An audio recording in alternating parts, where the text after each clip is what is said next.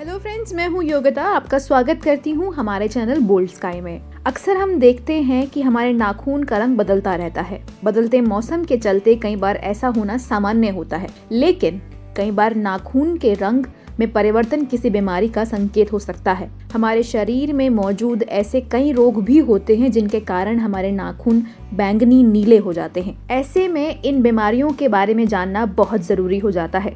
चलिए जानते हैं नाखून के नीले पड़ने का क्या कारण है।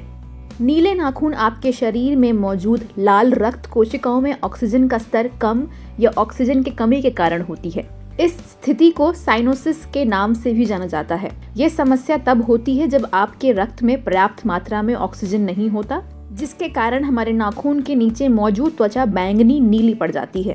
ठंडे तापमान के कारण भी नाखून नीले पड़ सकते हैं। ऐसा इसलिए होता है क्योंकि ठंडे तापमान की वजह से आपकी रक्त वाहिकाएँ सिकुड़ने या छोटी होने लगती हैं। ऐसी स्थिति में आपके नाखून में ऑक्सीजन से भरपूर रक्त को पर्याप्त मात्रा में पहुँचना मुश्किल हो जाता है। ठंडे तापमान के कारण उंगलियों का नीला पड़ना शरीर की एक सामान्य प्रतिक्रिया होती है। अगर नाखूनों की नीली रहने की समस्या लगातार बनी रहती है तो यह कोई रोग या इसका कोई अन्य कारण भी हो सकता है। जैसे COPD asthma acute respiratory distress syndrome pneumonia pulmonary embolism मतलब फेफड़ों में रक्त का थक्का। अगर आपके नाखून नीले पड़ने की समस्या लगातार बनी हुई है तो जल्द से जल्द अपने डॉक्टर को संपर्क करें। तो दोस्तों, आज के लिए बस इतना ही। उम्मीद करती हूँ आपको हमारी ये वीडियो पसंद ज़रूर आई होगी। कॉमेंट सेक्शन में ज़रूर बताएँ कि आपको हमारा कॉन्टेंट कैसा लगता है। वीडियो को लाइक एंड चैनल को सब्सक्राइब करना ना भूलें।